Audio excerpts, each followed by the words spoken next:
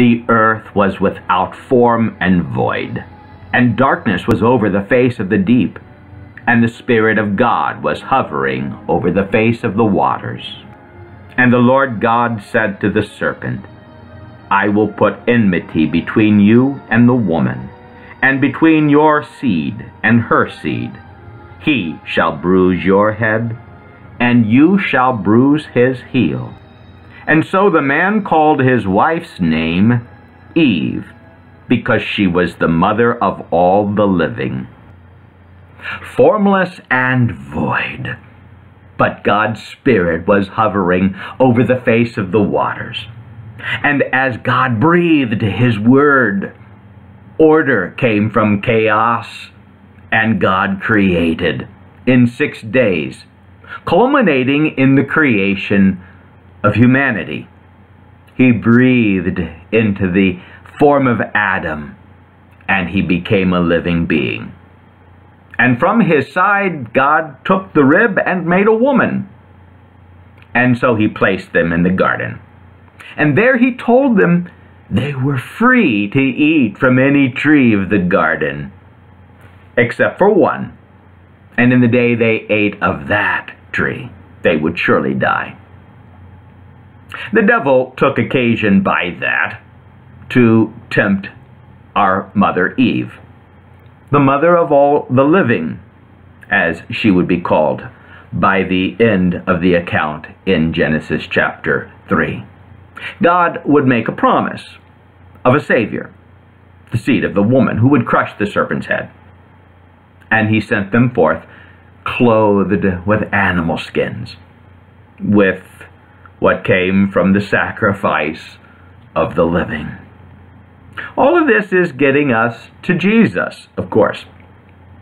And of course, that then involves the working of the Holy Spirit. Remember what we said at the last video.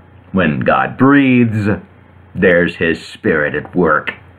When God speaks, there His Spirit is at work. Father, Son, and Holy Spirit are all involved in God's creating.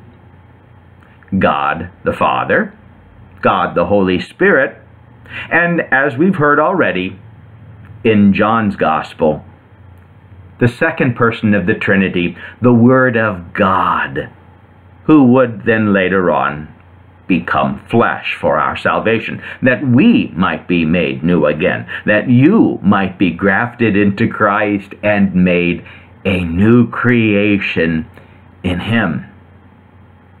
The Holy Spirit is involved in all of that, as are the Father and the Son. Remember, we confess the Holy Trinity, three persons in one divine being. The Father is God, the Son is God, and the Holy Spirit is God, and yet they are not three gods but one God. The Father is Spirit only, and the Holy Spirit is Spirit only. The Son was Spirit from all eternity until becoming one of us, conceived by the working of the Holy Spirit, born of the Virgin Mary to suffer under Pontius Pilate, die, rise again, ascend into heaven, where he remains forever, both God and man. He is the only person of the Trinity who became what you are true man. That means truly human. Male, yes, but for us all, whether male or female, that in Christ Jesus we might be made one in Him. The third article of the Creed involves the working of the Holy Spirit, which we may not seemingly hear as much about, since Jesus says he will testify of Jesus. The Father loved the world this way. He sent his only begotten Son into the flesh, conceived by the Holy Spirit, as we've already said, that whoever believes in him by the working of the Holy Spirit might not perish but have eternal life. Not only is the whole Trinity, Father, Son, and Holy Spirit involved in the first creation, but the whole Trinity is involved in the work of the new creation, that which was done for us in the life and the ministry of Jesus, coming into the flesh as the Spirit worked and as the Father gave. And now that he is seated at the right hand of the Father, the whole Trinity is still at work in saving you, in saving all who come to a genuine and living faith in Christ Jesus. It's the Spirit who works that, who calls me by the gospel, enlightens me with his gifts, sanctifies and keeps me with Jesus Christ in the one true faith, even as he does for the whole Christian church on earth, and that means you as well. The Spirit works through the Word, and that's important. It's easy for people to get this wrong, and we hear even Christians getting it terribly wrong. Jesus never directs us to our hearts. He says, out of the heart come sin, adultery, evil desires, all the stuff that mm, makes a person unclean. That's the original infection that Adam got going in us all when he departed from God's Word. And so we ought not look to the Spirit's guidance on the inside. That's a dangerous place to look. How will you ever be sure? Is it the Spirit? Or is it just me? Is it my desire? Or is it God's? What does God want me to do with my life? Let me look inside myself and see. In some respect, that's not that bad. In another respect, it's deadly. In the beginning, God said to Adam and to Eve, You are free to eat from any tree in the garden. They didn't have to wake up in the morning and go, hmm, does God want me to have a banana today? Or should I start the day off with a pear or a peach? Whatever you want is fine with me, says the Lord. You're free, after all. He has said so. Except for the tree at the center of the garden. There you are to learn faith through fasting. Faith in the Word of God, holding firm and fast to everything proceeding from the mouth of the God who made you and loves you and wants to keep you with Himself. And when you depart from that, that's death.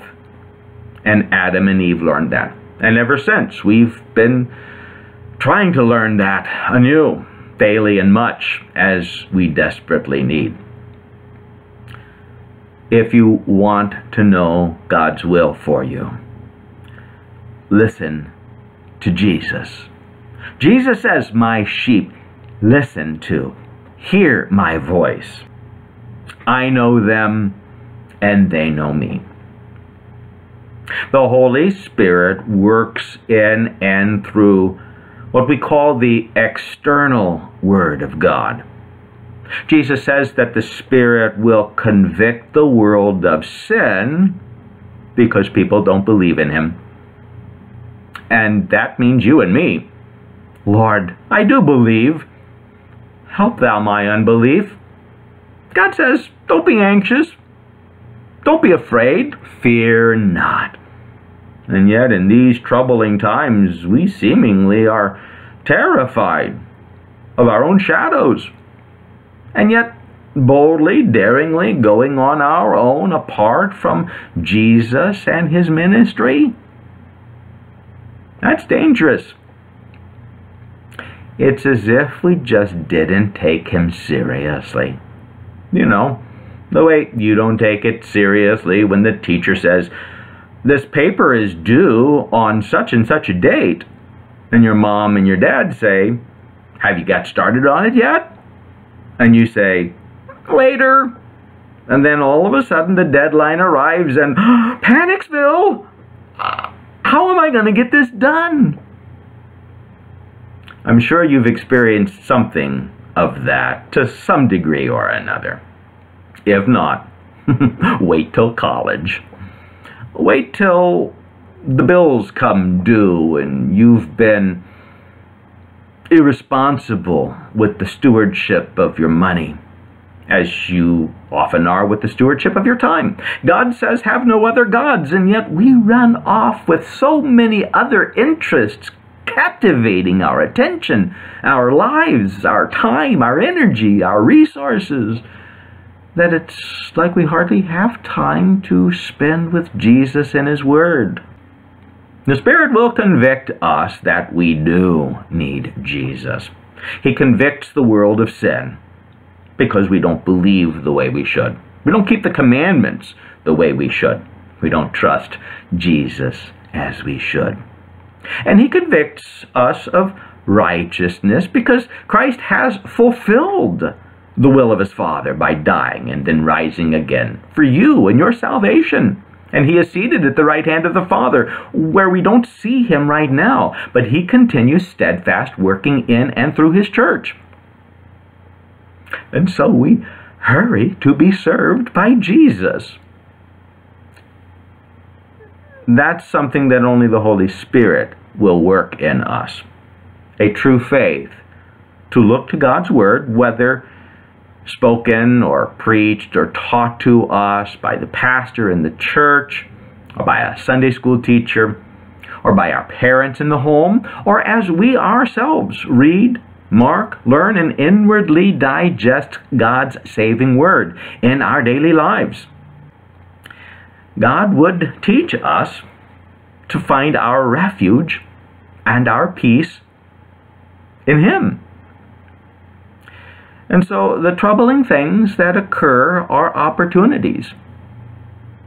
The devil will always use them to scatter God's flock, to drive us into despair and doubt and other great shame and vice, into entanglements that can only choke out faith and leave us far less prepared by God in His Word than we are with other things we make sure that we learn the hobbies and interests, the sports, the pursuits, the passions, the careers that we want very well. We learn them, we master them.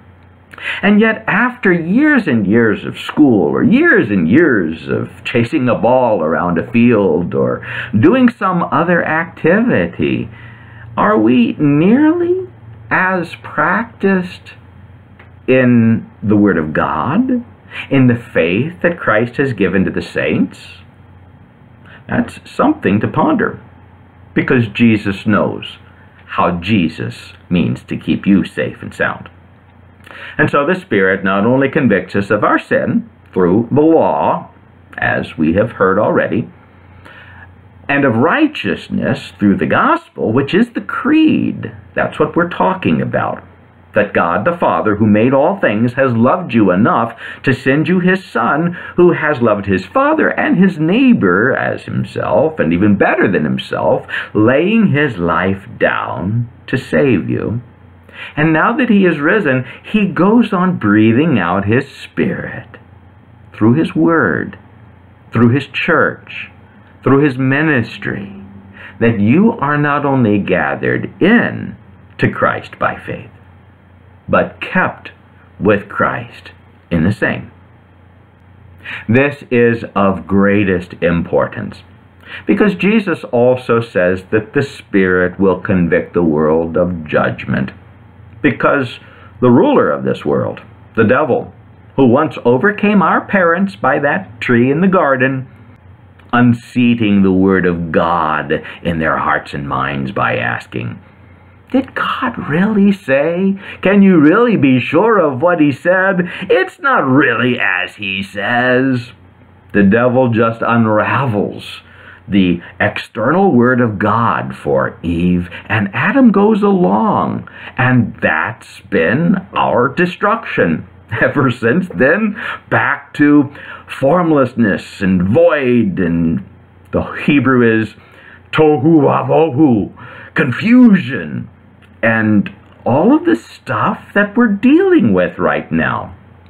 It's always been like this since Adam and Eve cast us back into it by departing from God's Word. But since the promise of the gospel, since God clothed them Himself, God's been trying to order your life and mine in Christ Jesus with His Word. He will come again as He has promised to judge the living and the dead. The devil is already judged and cast down. And you, the baptized, have been buried with Christ through baptism and raised up again in Him. You've been given new birth by the water and the Spirit.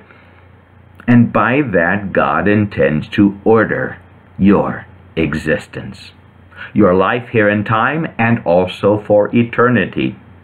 He does that as He continues breathing out His Spirit, whom we need to be actively at work within our lives daily and much. In the third article of the Creed, we confess that by saying, I believe in the Holy Spirit, the Holy Christian Church, the communion of saints, the forgiveness of sins, the resurrection of the body, and the life everlasting. That is the work of God's Spirit from beginning to end, from His hovering over the waters at the start in Genesis chapter 1, verse 2, to his hovering over Christ at his baptism, the descending of the Holy Spirit, the third person of the Trinity, upon the second person of the Trinity, Christ Jesus, as he was baptized by John in the Jordan River. And over him the Father spoke, This is my Son whom I love. With him I am well pleased. And he speaks the same of you in your baptism, where the Father, Son, and Holy Spirit work to give you new birth in Jesus Christ. Apart from the Spirit, you will not believe that. Apart from the Spirit, I will not believe that. It didn't take but that long before Eve did not believe it either. All the devil had to do was say, Did God really say? And she was a goner, and Adam with her. And if perfect people fall that easily, do not take it for granted. Despite a pandemic, despite all of the wonderful things God has given you to be involved in here in time, do not disregard your desperate need for Jesus and His Spirit working in and through His saving word. And so let's confess together the meaning of the third article of the Creed. What does this mean? I believe that I cannot, by my own reason or strength, believe in Jesus Christ my Lord or come to him. But the Holy Spirit has called me by the gospel, enlightened me with his gifts, sanctified and kept me in the true faith. In the same way, he calls, gathers, enlightens, and sanctifies the whole Christian church on earth and keeps it with Jesus Christ in the one true faith. In this Christian church, he daily and richly forgives all my sins and the sins of all believers. On the last day, he will raise me and all the dead and give eternal life to me and all believers in Christ. This is most certainly true.